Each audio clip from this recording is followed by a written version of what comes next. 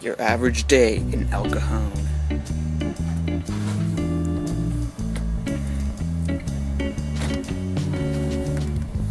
Someone sleeping.